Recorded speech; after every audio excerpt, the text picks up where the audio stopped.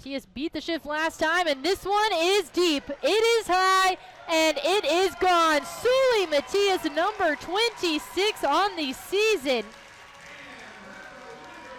sends this one to the Eisenberg bleachers.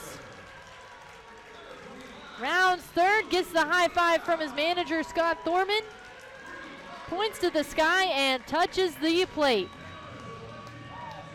380 feet off the bat of Seuly Matias.